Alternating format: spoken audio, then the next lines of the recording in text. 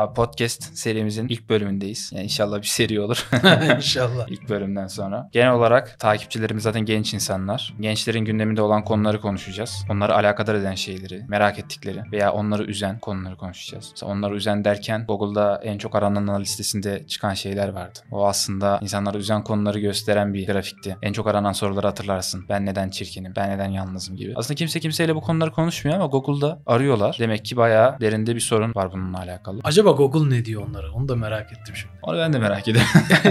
Genlerinde bir sorun var koçum diyormuş. Google olaya materyal yaklaşacağı için genetikten bahsedebilir. Sen hiç yazdın mı mesela Google'a? Ben niye böyleyim mesela? Hakikaten bir insan böyle bir soruyu niye Google'da arar? O da ayrı bir konu. Ama biz burada işte insanlara bir şekilde yardımcı olmak için varız. Bunların üzerinde konuşacağız genel olarak. Şimdi ben kardeşime sordum neler var insanların gündeminde falan diye. Benim kardeşim üniversiteye gidiyor biliyorsun. Çok bir konuda yok gündemlerinde işin içinde.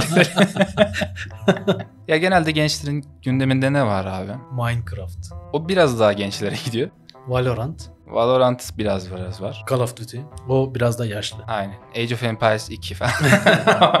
o Y jenerasyonu. Şimdi internette artık eskisinden daha fazla her yeri görüyoruz dünyanın her yerine. insanların yaşayışını. Gördükçe gördükçe bugün burada Türkiye'de yaşayan bir çocuk Amerika'daki bir çocuğun yaşantısını görüyor diyor ki ben niye böyle değilim? Bakıyor ona o en teknolojik aletleri kullanıyor. Biz eski model biraz daha şeyleri kullanıyoruz. Ve sorgulamaya başlıyor doğal olarak. Önceden mesela bizde bu kadar çok şey yoktu. Türkiye'yi yurt dışıyla kıyaslama gibi bir şey yoktu. Yani mesela senin neslinde veya babalarımızın neslinde hiç böyle işte Amerika'da adamlar iPhone 14 kullanıyor. Biz daha düşün kullanıyoruz falan diye bir muhabbet yoktu. Yok zaten tabii mümkün değil çünkü iPhone 14 yok. O da yoktu.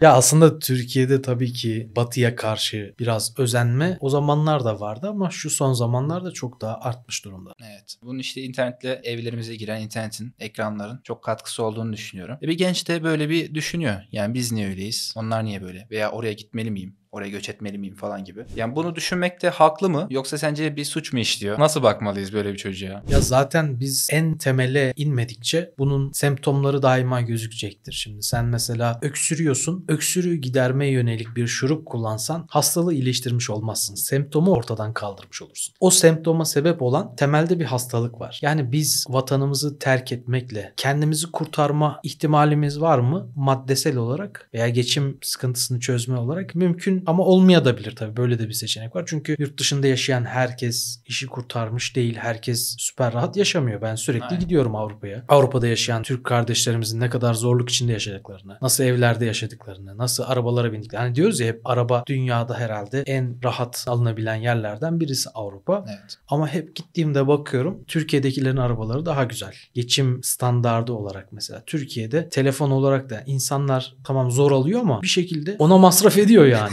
Çok ciddi borçlara giriyor ve o arabayı alıyor. O telefonu alıyor. Ama Avrupa'dakilere bakıyorum. Daha kolay almasına rağmen basit arabalara biniyor mesela oradaki arkadaşlarımız. Tabii imkanı biraz daha olanlar daha iyi arabalara biniyor ama tabii o oran daha yüksek olabilir. Acaba onları bu ekonomik hale getiren bu tasarruf olabilir mi? Biz mesela ihtiyacımız olmasa da böyle en yüksek model, en iyisi her şeyin almaya çalışıyoruz ama onlar belki daha tasarruflu davranıyor. İhtiyacı olmayan bir şeyi almıyor vesaire. Yo aslında daha temelde yani ekonominin gelişim şekli farklı. Şimdi Türkiye farklı bir ülke. Türkiye'nin kendine göre güzellikleri, kendine göre zenginlikleri var. Avrupa çok farklı mesela. Avrupa'da patates veya bir iki tane böyle sebze yetişir. Onun dışında çok fazla tarım gelişmiş değil. Avrupa iklimsel şartlarının etkisiyle daha farklı bir sosyal yapıya sahip. O yüzden insanların yönelimleri başka. Uluslararası ilişkiler okudum ya ben. Okulda şöyle bir şey görmüştük. Bakın insanların gelişim şekline, beyinlerinin algı şekline bile etki eden bir gerçeklik var. Jeopolitik şekil veya coğrafi şekil. İnsanların kültürel hayatına etki ediyor. Mesela Almanlar neden savaşçı bir millet olmuşlar? Çünkü daima istilaya maruz kalmışlar. Çünkü dümdüz. Coğrafi bir korunakları yok. Bu da onları sık sık savaş tecrübesine uğratmış ve savaş konusunda kendilerini geliştirmek için düzenli sistemli olmaları gerektiğini bir noktada, tarihin bir noktasında fark edip ona odaklanmışlar. İş bölümü, düzen, sistemli çalışma bu konuda biraz kendilerini geliştirmişler ve dünyanın diğer ülkelerine nispeten daha fazla bakıyoruz. Dünyanın iki büyük savaşında başat güç olmuş bütün dünyanın diğer ülkeleri Almanları dengelemek için birleşmişler, ittifaklar kurmuşlar. Demek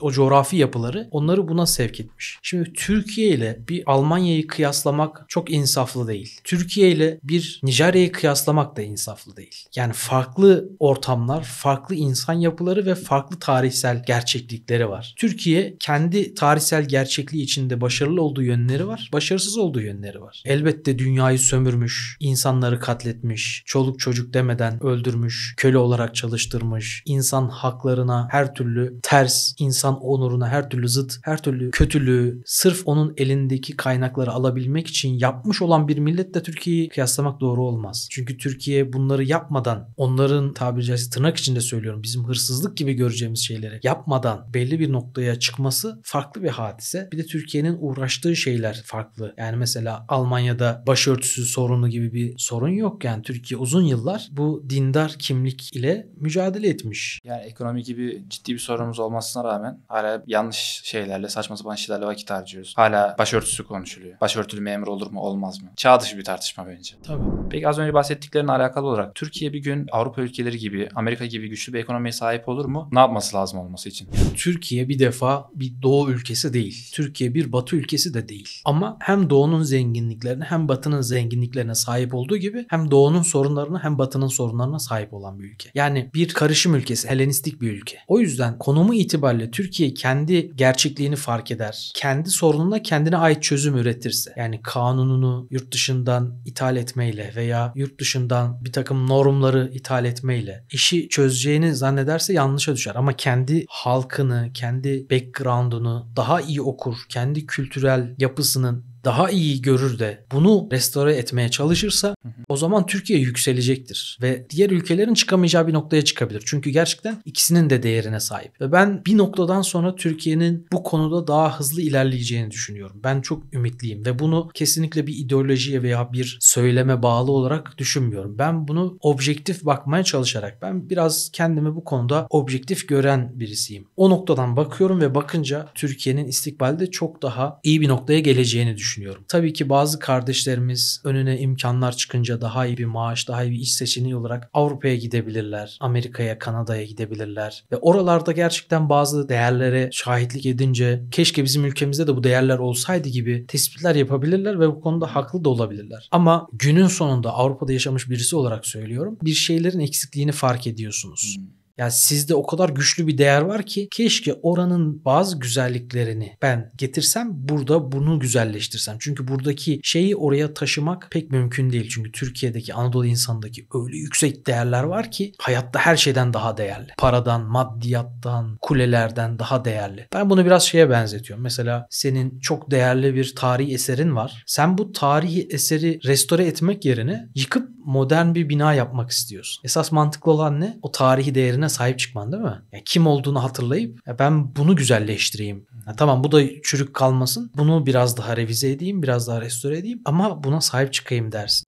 Bizim modern binalar tabiri caizse manevi olarak diyelim, soyut olarak yapmaya ihtiyacımız var. Geliştirmemiz gereken sistemlerimizi bir üst aşamaya taşımamız gereken yönlerimiz var. Ama kaybettiğimiz bazı değerler var. Bu değerler bizim çarşımızda rağbet görmemiş. Bizim tabiri caizse AVM'mizde eskiden bu değerler varmış. Rağbet görüyormuş ve iyi satılıyormuş. Ama daha sonra biz bunlara küsmüşüz. Hangi değerler abi? İşte mesela dürüstlük, mesela adalet. Bizim çarşımızın değerleriydi bunlar. Evet. Ama ne olmuş? Zamanla biz liyakat gibi, dürüstlük gibi, adalet gibi bu değerlerimizi küstürmüşüz. Ne yaparak? Yurt dışına, batı demeyeyim, farklı ülkelere de çünkü özenmişiz. Sefahatine, eğlencesine, belki de ahlaksızlığına bazı noktalarda özenmişiz. Niye? Paketi güzel ve süslü diye. Elimizdeki değeri bırakıp oraya teveccüh edince elimizdeki bu değerler bize küsmüşler ve onlar batıya veya diğer yerlere gitmişler. O gittikleri yerlerde karşılık bulunca adeta orada onları yükseltmişler. Bakıyorsunuz bugün bizde olması gerekiyor diye düşündüğümüz şeyler orada. Liyakat, dürüstlük, adalet. Ya bu noktalarda geliştirmişler kendilerini ama esas bunlar Kur'an'ın değerleridir. Müslümanın değerleridir. Esas bu milletin değerleridir. Ve biz bunu ecdadımızda uygulamasını çok güzel görüyoruz. Ve bu şekilde dünyaya hakim olduklarını ama ezmeden, ama sömürmeden, ama öldürmeden, ama yok etmeye çalışmadan, değerlendirerek, o zenginliğini içinde barındırarak yükseldiğini görüyoruz. Yine olur mu? Yine olur.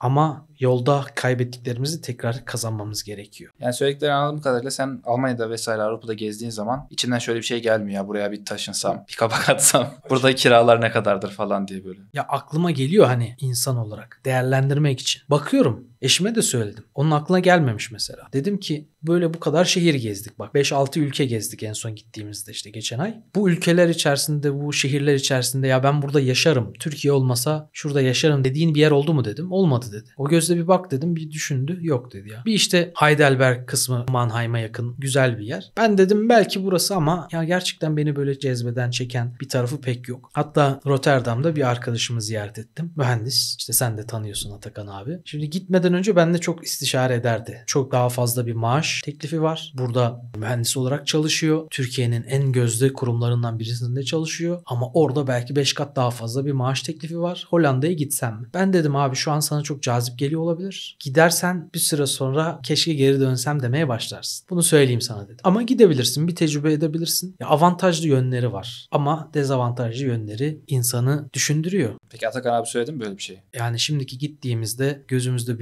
büyüttüğümüz kadar değilmiş dedi. Avrupa zormuş. Yaşamak çok zormuş burada. Sadece insan kendi kültürüm diye özleme noktası bu ayrı bir boyut. Hani bir şekilde o kültürünü, o gömleğini çıkartırsın. Oraya adapte olmaya çalışırsın. Oraya gibi yaşamaya çalışırsın. Bazı alışkanlıkların seni orada tutar mı? Tutar ama yine de bazı şeyler var ki bunlar çok değerli şeyler. Yani bizler mesela insani değerler noktasında çok farklı bir noktadayız. Benim Avrupa'da yaşarken o da arkadaşım Fransızdı. Anlatmışımdır belki. Louis diye bir arkadaş. Turuncu saçlı böyle. Bonus kafa. Tam bir Fransız. Konuşması böyle. İngilizcesi çok komik. O bana uzun uzun Fransa'yı, Avrupa'yı anlattı. Uzun uzun. Geceleri hep böyle sabaha kadar onunla muhabbet ederdik. Yataklarımız karşılıklı böyle. O da kendi yatağında bağdaş kurar. Ben de kendi yatağımda. Böyle birbirimize hani kültür alışverişi gibi anlatıyoruz. Avrupa'da ortam nasıl, Türkiye'de ortam nasıl ve çocuk Türkiye'ye o noktada hayranlık duyduğunu söyledi. Söylediği bir şeyi unutmuyorum. Derdi ki ya derdi işte bizim sokaklarımızda kalabalık bir caddemizde birisi düşse bayılsa kimse ilgilenmez. Hatta böyle bir olay geçen sene mi ne yaşandı? Bir tane meşhur bir fotoğrafçı mıydı, ressam mıydı? Donarak öldü sokakta. Kimse yardım etmemiş adama.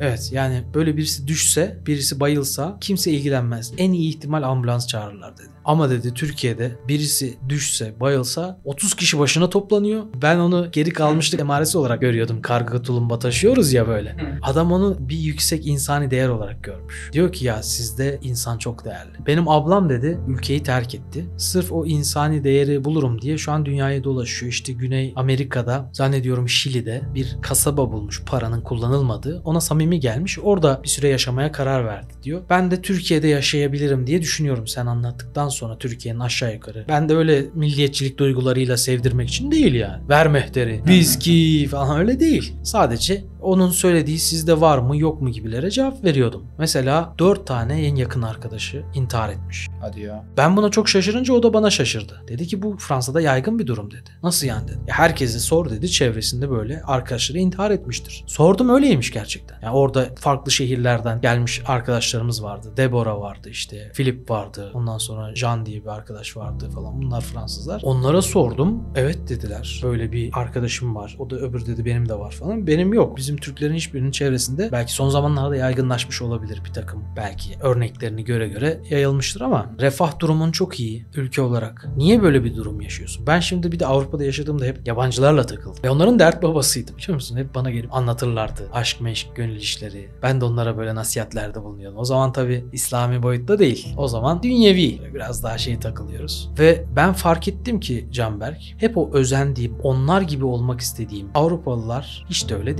değillermiş. İç yüzlerini görmeye başladım. Çünkü biz dizilerle, filmlerle, Hollywood filmleriyle çok böyle mutlu bir tablo görüyoruz ya ve onlar gibi olmak istiyoruz fark etmeden. Bu algıdır. Bu başarılı bir algıdır. Bize bu kültürü satmışlar. Hani bunu ister kapitalizmde ister başka bir şey. Ama sana adamlar bu kültürü satmışlar ve sen de üstün kültür olarak onu algılıyorsun. Müslümanlık üstün bir kültür olarak algılanmıyor. Baskın bir kültür değil. Resesif, alt kültür olarak algılanıyor. Baskın kültür nedir sosyolojik olarak dünyada? Her zaman batının kültürü ve batının değerleridir. Her zaman tartarken Avrupa'da bu böyle diye tartarız. Örnek verirken Avrupa'yı örnek veririz. Ama işin içine giren, orada yaşayan insan görüyor ki tamam hukuki olarak, sistemsel olarak Bazı şeyleri akli melekelerini çok kullandıkları için geliştirmişler ama insani noktada hiç önemli görmemişler. Onlarda çalışmak kutsal. Senin dini değerlerin gibi, aile değerlerin gibi onlarda da çalışmaya ait her şey çok kutsaldır. Birinci sırada gelir. Hayat ona göre organize edilir. O yüzden dünyaya biraz daha belki hakim olacak bir noktaya geldiler. Maddi olarak kendilerini geliştirmelerinin sırrı bu. Temelde bunu yerleştirdikleri için. Ama bakıyorsun gerçekten Türkiye'de görmediğim anormallikler görüyordum onlarda. Duygusal olarak gerçekten çok boşluktalar. O mutlu görüntülerin arkasında hepsi bir şeylere bağlıyorlar işte baba sorunu, anne sorunu falan filan ki gerçekten hepsinin annesi babası ayrı. Böyle de bir şey var. Aile yok yani. Belki de bunun etkisi var. Çok garip ya. Bir anda düşün konuştuğun, muhabbet ettiğin adam kendini yere atıp ağlamaya başlar mı? Ben Türkiye'de böyle bir şey görmedim. Orada görmediğim arkadaşım yoktu neredeyse.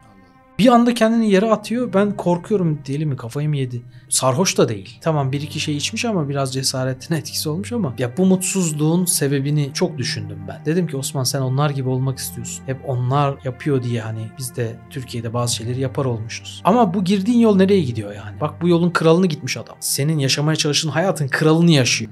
Gerçekten kızlı erkekli ortamlar, partiler. E böyleler. O rahatlık var. Onlar için zina etmemek garip. içki içmemek garip. Bu rahatlıktalar. Dünya yaşama noktasında bir slogan olarak bunu yapıyorlar. Yaşamalısın. Bir kere geldin. Gençken yaşamalısın. Her şeyi tatmalısın. Ama bakıyorsun perde arkasında o nefsi doyuramıyorsun ya. Hep fazlası hep fazlası. Bir süre sonra bir bakıyorsun artık hayattan tad alamaz ve her şey anlamsızlaşmış bir şekilde düşünemez bir adam olmuş. Aklını susturmaya çalışıyor. Dolayısıyla yani bütün mal varlığı işte refah seviyesi yüksek de olsa her şey elinde de olsa adam intihar ediyor yani. İnsanın bir anlam arayışı var ama bu anlam arayışında ekonomisinin iyi olması o konuyu çözmüyor demek ki. Ve de demek ki insanın ekonomiden daha büyük sorunları da var. Orada e, batılı insanlar bunlarla yüzleşiyor. Çünkü ekonomik sorunların çoğunu aşmışlar ve aşamıyorlar hayatın anlamı arayışını. Ve neticede senin dediğin gibi çoğusu belki hayatına son veriyor farklı yollarla. Biz Türkiye'de henüz ekonomik sorunları aşamadığımız için o anlam arayışı konusuna da belki çok gelemiyoruz. Ama bu anlamın arayışının bir tane cevabı var. Onda ne olduğu belli. İslam olmaksızın hayatta üretilen anlamların hepsi yapay kalır. Ya mesela bir ahiret olmadan bu dünyada ne kadar iyi yaşarsan yaşa hiçbir şey insan kalbini tatmin etmez. Sonuçta en yakınların yavaş yavaş ölüyor veya sahip olduğun her şeyin elinden bir anda çıkma ihtimali var. Çıkmasa bile korkuyla yaşama durumundasın. Yani onlar da bu işte ekonomik sorunları gidermişler ama diğer konularda geriler. İnsanın hayatı iyi bir ev, bir araba sahibi olmaktan ibaret değil demek ki. İnsanı mutlu eden farklı konular var. Belki biz de bir gün ekonomik olarak güçlü bir ülke olursak olayın bu olmadığını azından Jim Carrey diyor ya bir gün herkesin ünlü olması olmasını, zengin olmasını isterim. Böylelikle e, aradığınız şeyin bu olmadığını anlayacaksınız falan diye. Adam dua ediyor Allah'ım paranın beni bozu bozmayacağını anlamam için bana bir şans ver.